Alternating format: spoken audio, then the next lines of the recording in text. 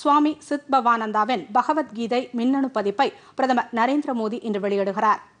திருச்சி மாவட்டம் திருப்பரைத்துறையில் ஸ்ரீ ஸ்ரீ ராமகிருஷ்ணா தபவன ஆசிரமத்தை சுவாமி சித் பவானந்தா நிர்வகித்து வந்தார்.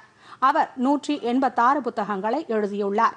ஆயிரத்தி தொள்ளாயிரத்தி ஐம்பத்தி ஓராம் ஆண்டில் தமிழில் அவர் எழுதிய பகவத்கீதை மிகவும் பிரபலமானது. இதுவரை ஐந்து லட்சம் பிரதிகளுக்கு மேல் விற்பனையாகியுள்ளது. இதனையொட்டி இன்று காலை பத்து இருபத்தைந்து மணிக்கு நடைபெறும் நிகழ்ச்சியில் பிரதமர் நரேந்திர மோடி காணொலி காட்சி மூலம் கலந்து கொண்டு உரையாற்றுகிறார். அப்போது பகவத்கீதையின் மின்னணு பதிப்பை பிரதமர் வெளியிட உள்ளார்